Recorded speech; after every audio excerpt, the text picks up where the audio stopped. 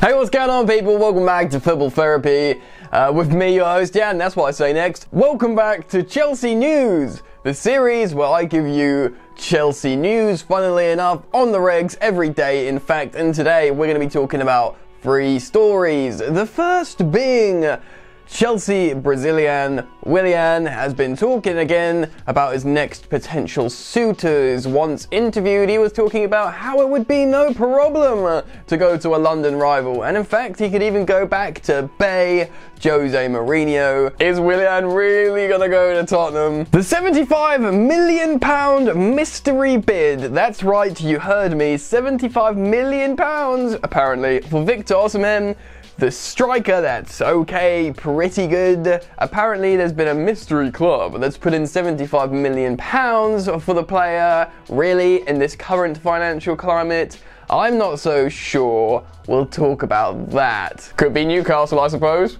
And finally, Frank Lampard was interviewed with BT Sport talking about the pandemic and just general stuff things that are going on in football at the moment. And he had some very telling comments about N'Golo Kante, which should wrap up any rumours of a possible summer transfer. So I'll give you the lowdown on that too. So an exciting and informative news video for you guys here today on Football Therapy. By the way, you might have noticed we are very close to hitting 50,000 subscribers. On the cusp, in fact. And if you watch my vids daily, which a lot of people do that are not subscribed, can I ask you guys there watching now to please sub to this channel? Why not, man? And if you enjoy it, hit the bell notifications icon and like the video, because it's all part of the cause, yeah? I'm not begging, I'm just asking. Anyway, let's get on with it. You know what, let's start with Willian, because he's been commenting about his future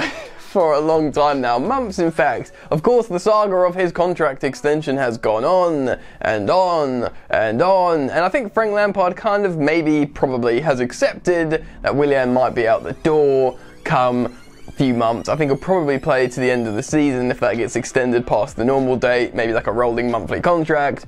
But then I think he's gone. Now I'm going to put a couple of quotes up on the screen that Willian was quoted saying about his next potential suitor as a club and Jose Mourinho. He was talking about how it would be no problem to go to a London rival. Oh, really, Willian? And he has also spoken of his close and loving romantic relationship with Jose Mourinho. Maybe not romantic, but he thinks he's the best coach he's ever worked with fine. You know, he probably got in his ear, spoke Portuguese, said, look, mate, you are better than Neymar, all that kind of gear. Do you know what I mean? So there's obviously something going on with those guys. Point being, Willian could literally bowl up at Tottenham Hotspur. Now, the Tottenham fans aren't happy about this, and I can understand why. Even if you do concede Willian is still a very good player in his own right, Tottenham have got good wingers. They do. They've got who have they got? Bergwijn, he's very, very good. Son, he is also very good. Lucas Moura, he's good. You know, Dele Alli can play wide. They've even got Lamela. Um, I'm pretty sure there's another one in there that I've missed. They don't need Willian, but Jose will always need Willian. So, I mean, how you, I don't think Chelsea fans will feel like it's a sort of tragic loss. Certainly, Tottenham fans, or the majority, don't want him. It's really just the Jose Willian thing that would just annoy both fan bases somewhat. Still watch this space. Will he tarnish his legacy at Chelsea? I mean, it's really the one club you don't go to, isn't it? Like, really? It kind of is. Even if it's a sort of big payday retirement home thing, it's just not smart. You know, Lampard won't like that. Lampard's recent comments when Jose went to Tottenham as manager, he was like, yeah, I won't be managing Tottenham. I think he understands a little bit more Tottenham Chelsea connection. But we'll have to see. It hasn't happened yet. They're just comments, of course. I'll keep you updated on football therapy. Moving on. Before we talk about the Victor Osimhen super. super mystery bid, mm, let's talk about N'Golo Kante. Frank Lampard loves N'Golo Kante. Now, he said in this interview with BT Sport, he talked about how he's felt really bad for NG, how he feels you know, the injury is really unfortunate for him, and he's such a nice character, and he loves him as like a, a, person, you know, not off the pitch as well, and he feels a lot of pain for him. Now, if you remember, Frank Lampard always waxed lyrical about N'Golo Kante prior to becoming Chelsea manager. When he was doing punditry, he would often say, "Well, this guy's the best ever." When Frank Lampard was appointed at Chelsea manager, he continued to subscribe to that opinion. He was like, well, N'Golo Kante, best ever. I'm going to be managing him. Brilliant. And Kante's only played about 40% of Chelsea's games, but due to injury. Now, we as Chelsea fans have watched N'Golo Kante on the pitch under Frank Lampard, and he hasn't been himself. He hasn't been superb. It's not even been a positional change thing. He was still impressive under Sarri. His form wasn't great, he's getting closer to 30, and of course the injury problems are sneaking in. It's not just Chelsea fans, neutrals and journalists were all talking about maybe it's time to sell N'Golo Kante. But for me, in this interview, the way Frank Lampard spoke of the World Cup winning Frenchman, he was saying he's the best. You know, he's the best in his position. He's world class player. Maybe the only. He didn't say this, but I think it was kind of like maybe the only world class player that we have. Although, for my money, Kovacic has been the best player in Chelsea's team this season. Granted, because he was fully fit. The way Frank Lampard spoke of N'Golo Kante in this interview, it was like, yeah, as soon as he's back, he's my boy. Which is interesting because in many ways, it, I just don't think it's going to give the balance to Frank Lampard's football. Like, who am I to tell Frank Lampard how to play his football? But I personally have guested on podcasts, other YouTube channels, and different platforms recently where, where I, as a guest, the hosts or other guests, have all spoken about our like ideal midfield three for Chelsea moving forwards. And often it was like Billy Gilmour at the base or Kovacic at the base. Some people said Jorginho. And then, you know, you had Kovacic, Ruben Loftus Cheek as the number sort of eights. And, you know, some people are still putting Mason Mount in there because he's been really, really good.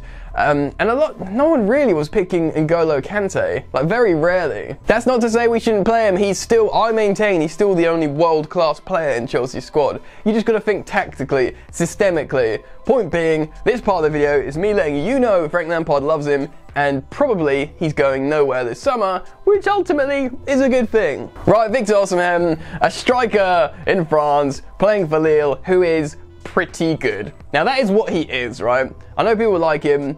He scores like what a goal every other game, okay return in a relatively struggling team. Apparently, it's come out in the media, there's been a mystery 75 million pound bid. Mm. Now we know a lot of top clubs are courting him, most notably, for the sake of this video, Chelsea Football Club. And I think it'd probably be an okay signing. I think in terms of Moussa Dembele and Victor Osimhen, I think they'd both be good signings. I can't, I've always made this comparison of, remember when Chelsea bought Michy Batshuayi before Conte arrived? He was that sort of similar tier sort of striker from Liga, same age, the early 20s, scored the same amount of goals. He was playing for Marseille, Batshuayi. These guys, you know, Leon, Lille is kind of the same sort of level. It's Chelsea getting like the ultimate backup option. Do you know what I mean? But I guess because of Tammy Tammy Abraham's um, sort of level isn't quite Diego Costa, of course. So I guess you know you could say these players could challenge Tammy for the number one spot. And honestly, I wouldn't be surprised if Chelsea did want Victor Osimhen and make a bid for him. That would kind of make sense. But 75 million pounds? Nah, mate. No, no, no, no, no. A, generally, no. and B, not in this climate, man. We've talked about how the uh, health pandemic, how that's going to really affect the transfer market, and people won't be able to do big money signings, maybe over 100 mil. But still, you're not going to spend 25 mil less on a player that's just probably worth 30, 40 mil. I don't know, or maybe he's worth 50 million. I don't know. The, the market's changing, inflation and all that. I get it. But a mystery 75 million pound bid. This, of course, could be coming out from its agent to try and mix things up. But what have you got to gain from that? Saying, oh, someone's come in and bid that much. That would just shoo everyone away, surely. And they'd be like, no thanks, mate. Bye. Completely out of my mind. I've forgotten about you now. Do you know what I mean? So, what is happening? I just don't see what releasing that rumor gains any like party, whether it's club, player, or agent, certainly not buying club. Do you know what I mean? Unless, here it is, unless, because this has been rumoured as well, it's Newcastle United, the richest club in the world.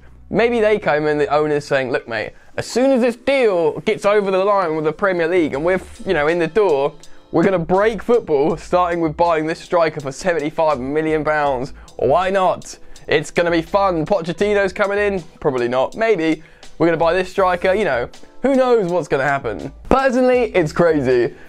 I, I mean, all these players could move. clubs will need to sell players, including the likes of Lille. So, they probably will be looking to offload Victor Osimhen, and if they actually have received a mystery bid of 75 million pounds, legitimately from any club, whether it's Chelsea, Newcastle, or whatever, they will absolutely rip their hands off. I hope it's not Chelsea even though I quite like the player, if my club pays 75 million pounds on an average strike, well, I don't want to on a okay, pretty good striker. It's just madness. Like, it's absolute madness. Rather, obviously, get Dries Mertens on a free, play him as a second striker.